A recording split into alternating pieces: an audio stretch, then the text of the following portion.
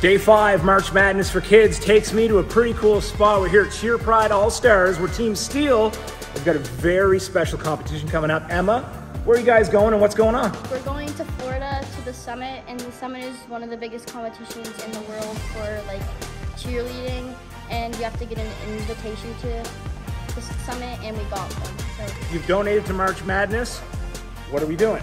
we are uh, conditioning and yeah, we're doing workouts. I gotta do all of them? Yes. Every single one? Oh boy, let's see what happens.